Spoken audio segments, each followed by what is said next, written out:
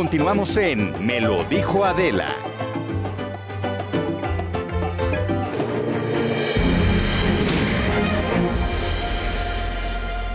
Sí. Bueno, eso que hizo.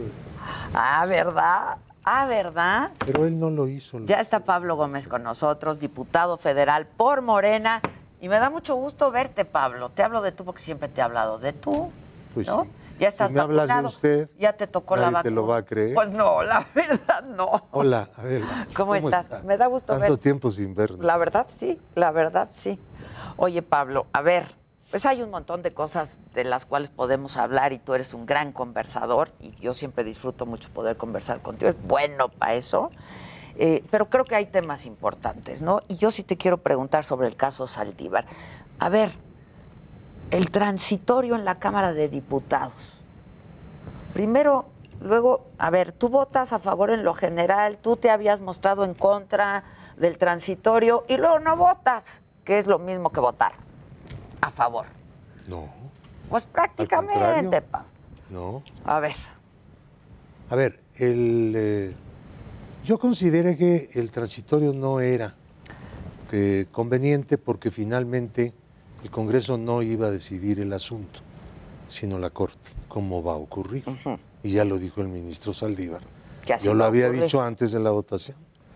Esto no va a transitar ni aún cuando se promulgue. Porque es una cosa que va a quedar a, a la decisión de la Corte en el momento en que se cumplan los cuatro años del ministro Saldívar. Entonces yo creo que la intención es buena porque el Poder Judicial requiere de una renovación completa. Y lo hemos dicho hace más o menos unos 50 o Te 60 refieres años. a la reforma, Sí, ¿no? la reforma, pero no, pero tú sabes que no basta con que las leyes se renueven. Es indispensable que haya quien las aplique. Entonces esto es una cosa importante. No hay que quitar el dedo del renglón. Y eso es lo que va a ocurrir finalmente.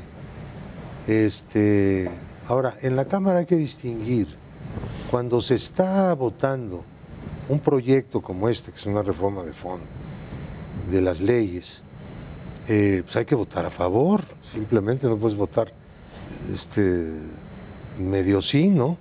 O medio no. Que eso fue lo que yo hice. Ahora, en lo particular, no se puso a votación el 13 transitorio. sino que fue todo el paquete. Eso es una cosa, yo por eso no voté, porque no podía votar en contra de una ley con la que estoy de acuerdo. Tampoco a favor de un transitorio que me parecía que pues no amerita. Bueno, pero que de entrada es anticonstitucional según todos los expertos y los que conocen el tema, ¿no? Sí, digamos que es una norma dis- distinta y contrapuesta a lo que dice el artículo constitucional respectivo, que dice que cada cuatro años se elige un presidente de la Corte. Ahora, esto va a ocurrir a final de cuentas. Esto cómo, cómo, cómo ha cortado con el, con el, con el ministro presidente. Es decir, no le ha afectado, no le ha costado. eso yo no puedo decirlo porque solamente pregúntaselo a él. No, bueno. ¿Cómo lo siente él? No, ¿cómo y lo cuánto sientes le tú? cuesta? ¿Cómo lo ves tú? Pues yo no sé. Hay No, un intento que- de injerencia del Ejecutivo al Legislativo, que eso es lo que también ex- expertos y especialistas han dicho al respecto, Pablo. No, lo que hay es un intento del legislativo y del ejecutivo para reformar el Poder Judicial, Sí. pero no para dictarles. Oye, pero que el presidente, que el presidente diga que aquellos ministros que no acepten el transitorio Saldívar están del lado de la corrupción, es tirar línea desde Palacio Nacional o cómo.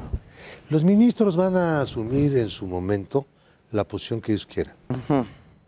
Son completamente libres. Ese es un diálogo, un diálogo de ideas, es decir, si ustedes se ponen en un plan de frenar la reforma, pues ahí estarán, ¿no? Eso es lo que eh, se teme. Muchos tememos que el, eh, pues el, el sector duro de la Corte, son unos seis individuos eh, que bloquean todo, nos tienen bloqueados mucho- un montón de, de- de controversias y de cosas. En fin, ¿qué es lo que tememos? Bueno, pues que se mantengan esa actitud francamente conservadora, de defensa de lo que ha sido hasta ahora el Poder Judicial. ¿no? Entonces sí se necesita una enérgica decisión, resolución, acción para poder hacer la reforma. Yo entiendo muy bien ese enfoque, ¿eh? lo comparto. Las vías para lograrlo, bueno, pues ahí podemos discutir. Yo tendría también otras propuestas, ¿no? Adicionales, pero todas en la misma dirección. Mira, Pero esta es una característica. Hay un intento de injerencia del No. Ejecutivo en el Legislativo. ¿Está No. tirando línea el En presidente? el legislativo, En el judicial, perdón, No, perdón. el- En, en el, en el legislativo, pues, El un poco también, ¿eh? Porque dicen no le quiten una coma, pasen la reforma como está, ¿no? Pero, perdón, ejecutivo. ¿sabes tú que ese que dijeron que no le quitáramos una coma fue un invento de la prensa? Y no solo no le quitamos, le quitamos coma, sino que le pusimos un artículo. Y la prensa no lo registró. Ni cuenta se dieron.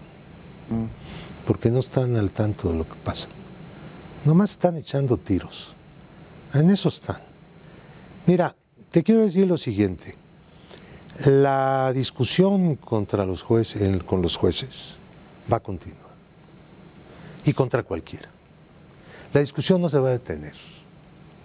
Ni el Ejecutivo ni el Legislativo se van a poner una mordaza y van a dejar de hablar para ser cor- políticamente correctos. Modositos, pero bien corruptotes. Que así eran todos. No, eso ya se acabó. ¿Sí? Ya. Ya se acabó la Ya se acabó. En el gobierno sí. Lo que es el gobierno. De repente va a brincar. Va a brincar algo.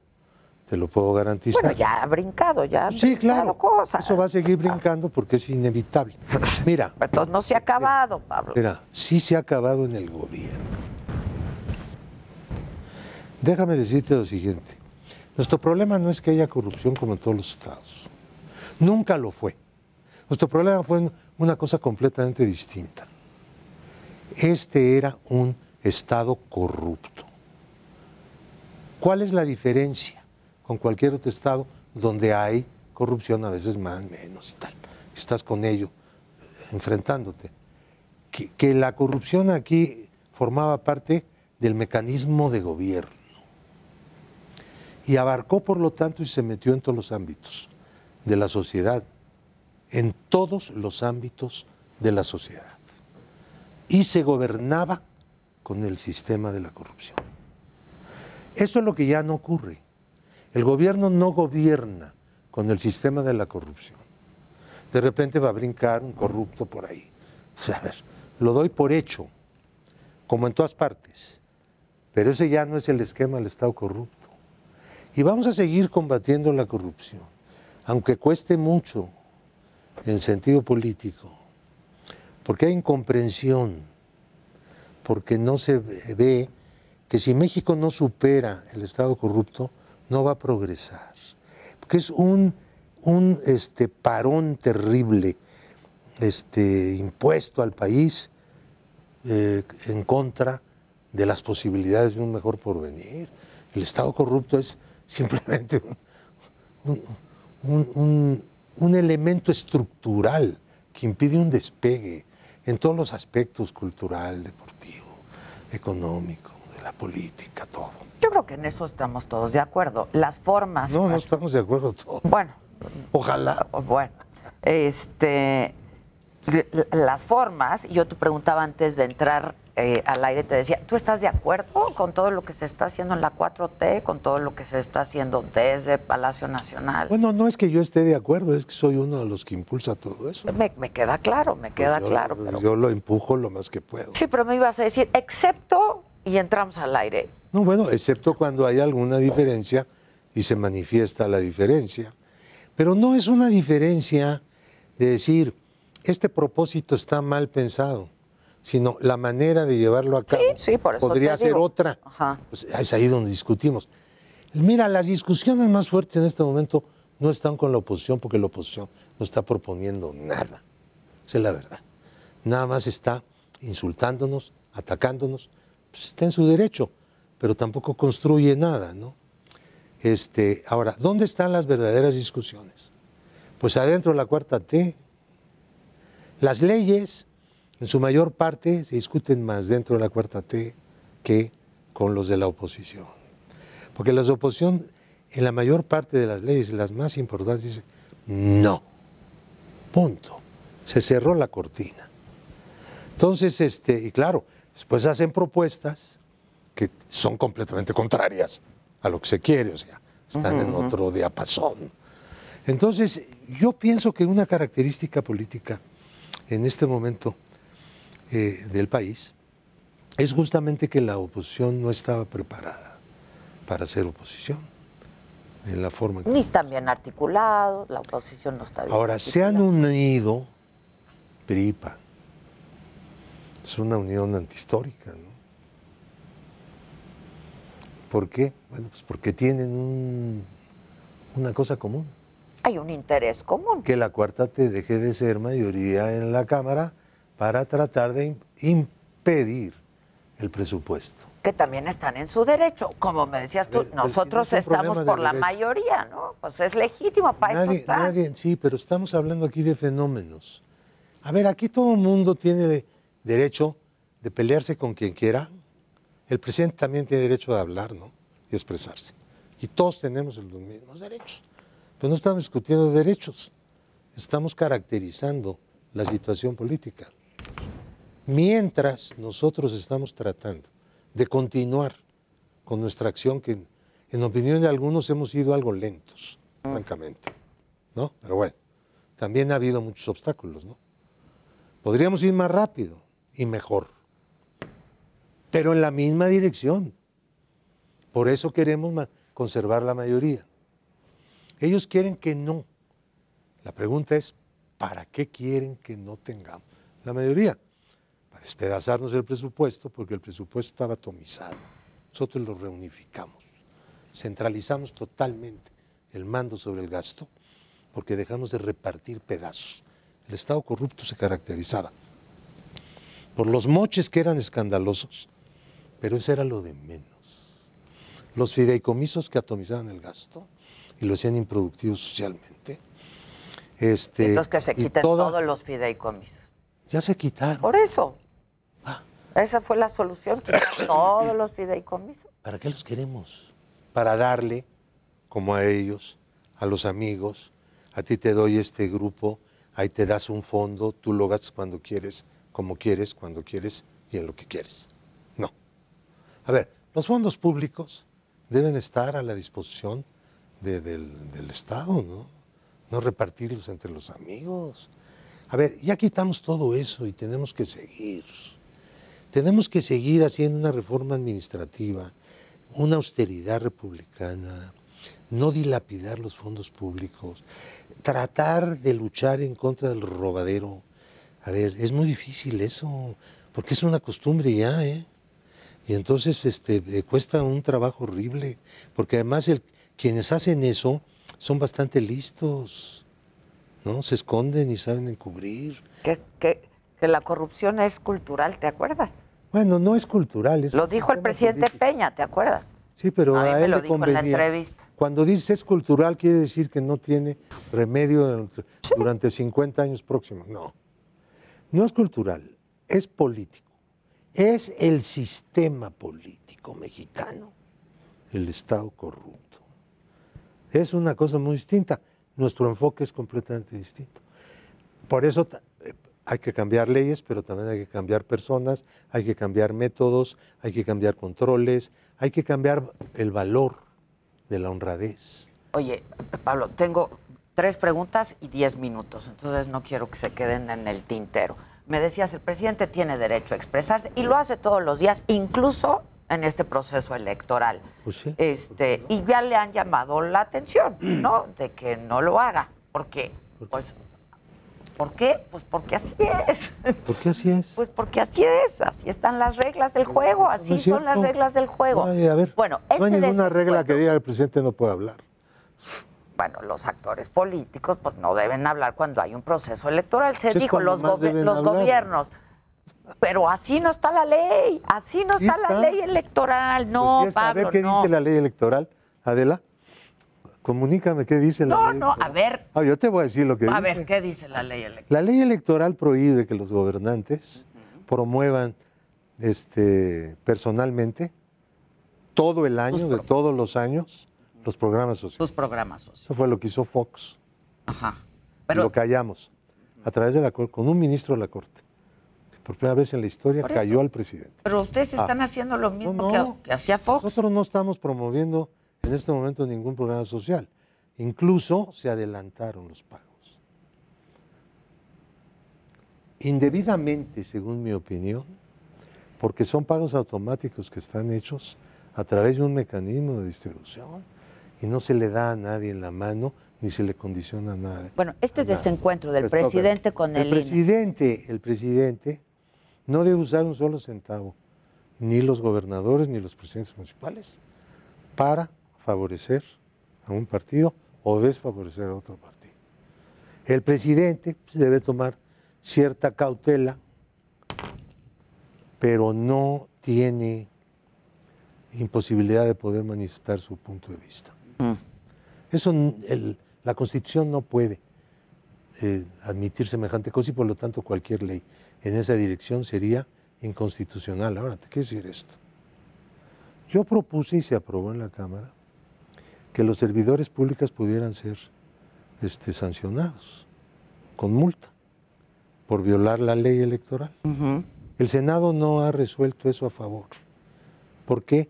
Porque los gobernadores estuvieron en contra. ¿Por qué? Porque sus, sus, este, empleados ah, se meten en las cosas electorales y andan ahí promoviendo sus candidatos. Bueno, ahora dicen que al presidente lo van a callar multándolo. No lo pueden multar. Esa es una fantasía. Segundo, lo van a arrestar. No pueden arrestar. El que lo arresta va a la cárcel en el acto que lo arreste. ¿eh? A ver, no solamente a él, tampoco a un gobernador, tampoco un diputado. senador. No por ser el presidente, pues. Por ser el presidente. Nadie lo puede detener. Es un golpe de Estado. La Constitución protege a ciertas personas para garantizar que los eh, órganos del Estado funcionen con normalidad y no interrumpan, interrumpan nunca su funcionamiento. Para eso existe el desafuero. A propósito del desafuero, cabeza de vaca. Pues no sé qué va a pasar. No, sí sabes ya, Pablo.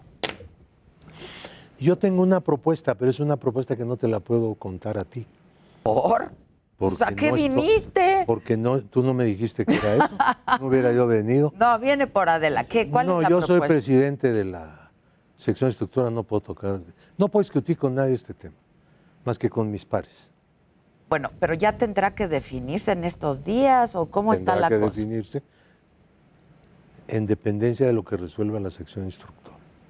Ya. Y luego, a ver, hay otros desafueros pendientes, ¿no? ¿O cuáles? ¿Vienen otros desafueros Sí, el pendientes? de un senador de Chihuahua, Ajá. el de un diputado y eh, uno que en opinión de mucha gente y de nosotros este, no tiene fuero, pero el fiscal lo mandó a la Cámara y hay que resolver ese problema. El del diputado. No, no es un No, fiscal, Ah, fiscal local. ya. Bueno, ¿y el caso de Saúl Huerta qué opinión te merece y cómo está eso? Tengo entendido que la Procuraduría de la ciudad va a ir a hacer un- una solicitud hoy a la Cámara. Le vamos a dar entrada. De proceso de desafuero. de tu- Ya. Entonces, ¿no puedes compartir nada de lo de cabeza de vaca? De lo de la sección instructora que no se ha resuelto, no puedo discutirlo con nadie. No. Bueno, y con tus, Nosotros no tenemos esa. con tus- Ahí sí hay una prohibición para estar de, de con parlanchín. tus pares, cu- ¿cuándo se va a discutir esto? Y El miércoles. ¿Cuándo se res- O sea, mañana. Mañana miércoles. Mañana miércoles. ¿Cómo ves a Morena? eh, porque me decías, nosotros queremos la mayoría. ¿Cómo ves? ¿Qué posibilidades? ¿Y cómo ves todo el proceso electoral, Pablo? Mira, el hecho de que el PRI y el PAN se hayan unido de manera orgánica, con una gran cantidad de diputados, eh, candidatos a diputados uninominales comunes, eh, es un en- enorme valladar para nosotros. No quiero negarlo. Sí, ¿eh? Sí. sí lo es, que unan, unen a los, los dos, el segundo y el tercer partido del país, se unen contra el primer partido del país, en votos, ¿no? Bueno, pues, justamente para disputarnos los territorios, los distritos, eso es lo que ellos buscan.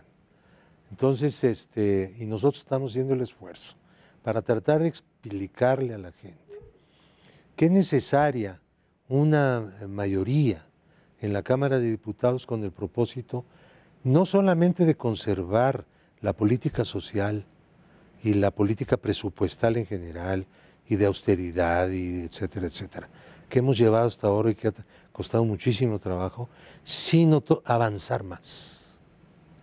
Necesitamos que los recursos públicos lleguen más a la sociedad que los requiere, porque el, Estado le quita a la sociedad dinero al cobrar los impuestos. Tiene que devolvérselos enteros, entero el dinero. No se puede, no puede mandarlo para otro lado. Pues si no es un negocio, ¿no? En el que el dueño se lleva una parte a su casa y lo mete en su cuenta bancaria, pues no. A ver, no, eh, eh, el Estado no funciona así. El Estado tiene que devolver todo. Ahora, ¿de qué manera?